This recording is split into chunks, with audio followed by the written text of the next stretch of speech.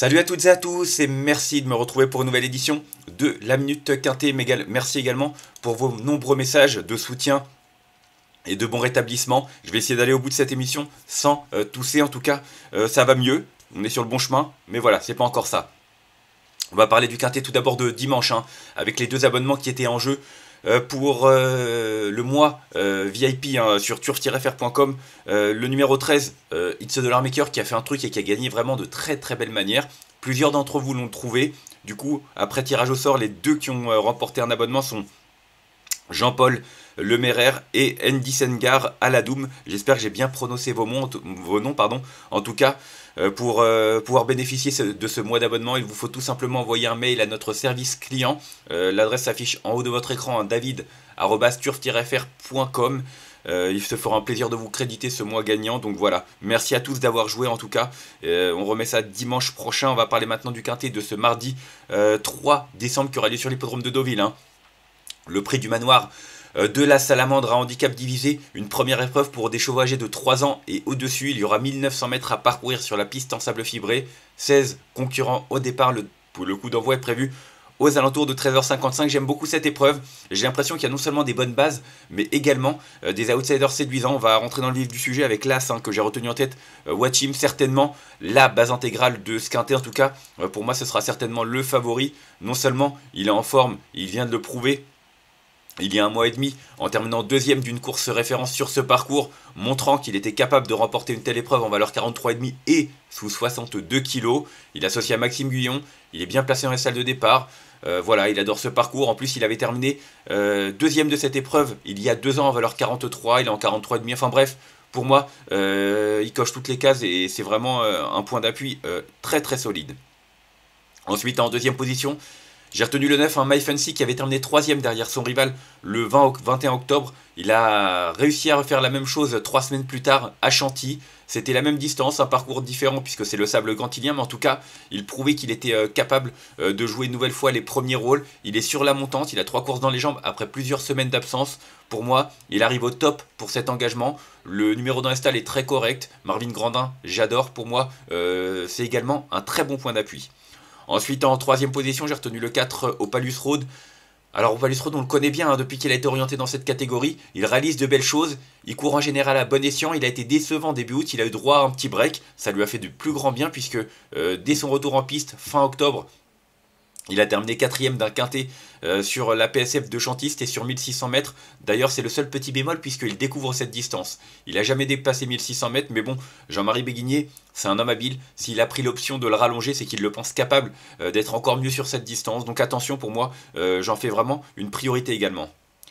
Ensuite, en quatrième position, j'ai retenu le 12 Célestin. Célestin, c'est également un cheval qui peut servir de base. Hein. Il vient de terminer deuxième euh, du quintet euh, de Chantilly le 12 novembre dernier devant My Fancy. Il a terminé deuxième de cette épreuve l'an passé en valeur 42,5.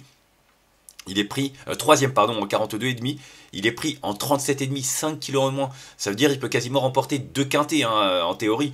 Mais bon, voilà, de la théorie à la pratique, on le sait, il y a un pas qu'il faut parfois franchir. En tout cas, je pense qu'il est capable d'en remporter un, euh, vu ce qu'il vient de faire en dernier lieu, et euh, vu euh, son aptitude à ce parcours, et le fait que David Breu ne soit présent que pour lui lors de cette réunion, pour moi, ce sont des signes qui incitent à la plus grande confiance. Ensuite, en cinquième position, j'ai retenu le numéro 5, Calas, que je reprends en confiance. Hein. On ne l'a pas revu depuis mi-septembre, et un échec sur la piste de Longchamp. Maintenant, euh, c'est un cheval qui auparavant a prouvé en valeur 39,5 qu'il était capable euh, de jouer les premiers rôles à ce niveau-là. Il a des références à faire valoir non seulement sur des pistes en sable mais également sur ce parcours en début de pas de carrière. Pour moi, la fraîcheur, c'est sans doute un atout déterminant qui lui a permis euh, de se repréparer, pourquoi pas d'arriver au top pour cet engagement pour lequel il peut vraiment réaliser une performance de choix. Ensuite, en sixième position, j'ai retenu le 13 Lunaticos, peut-être l'outsider le plus séduisant de cette épreuve. Pourquoi? Déjà, il est en forme, il vient de le prouver en terminant deuxième d'un handicap à Toulouse. En plus, il avait terminé troisième d'un quintet sur ce parcours cet été. Mais surtout, il fait le déplacement avec son euh, partenaire Maximilien euh, Justume, euh, qui, qui n'est là que pour une course. Un, jockey qu'on voit souvent monter dans l'Ouest. J'ai vu, association avec Thierry Mercier, l'entraîneur, 7, 7 tentatives, 2 victoires, 2 places un très bon pourcentage de réussite. Donc en bas de tableau, attention à lui, je pense vraiment qu'il est capable de brouiller les cartes à belle cote. Ensuite, en 7 position, j'ai retenu le 3 Cléora. Cléora qui vient de terminer aux portes du Quintet du 12 novembre, il y a 3 semaines, derrière Célestin et Fancy. Une jument qui a une belle pointe de vitesse finale, une pouliche de 4 ans, pardon mais qui a besoin d'un bon parcours. Ça tombe bien avec le numéro 4 dans les stalles de départ. Ça va certainement jouer euh, en, sa faveur. Euh, c'est une pouliche qui a déjà remporté un, quintet hein, sur ce parcours. Euh, c'était l'été dernier avec Christiane Demuro. Elle a désormais moins de marche, mais elle est capable d'accrocher un lot. Et enfin en huitième position, j'ai retenu le numéro 15. Euh, il s'agit euh, de Starzofal, l'un des trois ans au départ. Hein. Il a remporté un quintet pour seuls trois ans justement euh, le 21 septembre sur l'hippodrome de Chantilly. C'était sur la piste en gazon certes, mais il a des références également sur piste en sable d'ailleurs. En quatre tentatives sur des pistes en sable, il compte trois deuxièmes places et une cinquième place. Alors certes, il découvre celle de Deauville, mais l'aptitude à, la, à, la, surface est vraiment avérée. Maintenant, il faut également noter qu'il a été pénalisé depuis sa victoire, donc il faut voir ce qu'il vaut en valeur 37, mais on ne connaît pas souvent les, limites d'un poulain de 3 ans, c'est pour ça que je le retiens, mais en fin de combinaison. Et en cas de non partant, j'ai retenu le numéro 6, Love is Gold, qui est pas si mal couru que cela les dernières fois. C'est pas encore le Love is Gold euh, qu'on avait euh, l'hiver dernier, mais j'ai l'impression qu'il est quand même sur le bon chemin. En 39,5, clairement, il n'a pas une grosse marge de manœuvre. Mais bon, sur le bon chemin, je me dis que ça peut pourquoi pas suffire pour une cinquième place. On va faire un petit récapitulatif de ma sélection avec le numéro 1 que j'ai retenu devant le 9, le 4, le 12, le 5, le 13, le 3 et le numéro 15. Et en cas de non partant, le numéro 6. En conseil de jeu, je vous l'ai dit, il y a des bonnes bases qui se détachent. Pour moi, assez 9 ce sont vraiment deux très bonnes bases derrière. Faut faire un choix. Le 4, Opalus Road, euh, il n'a pas un super numéro dans la stade de départ et il est rallongé. C'est quand même deux petites incertitudes, mais c'est un cheval qui vaut clairement une telle épreuve. Et sinon, il y a le 12, Célestin. Euh, deuxième, troisième l'an passé de cette épreuve. Deuxième d'un quintet référence il y a euh, de cela trois semaines. Pour moi, ça peut être une très bonne base, malgré un numéro qui est assez moyen dans les salles de départ. Donc voilà, faites votre choix. En tout cas, je vous l'ai dit, il y a vraiment des, des, choses qui se détachent et intéressantes dans ce quintet.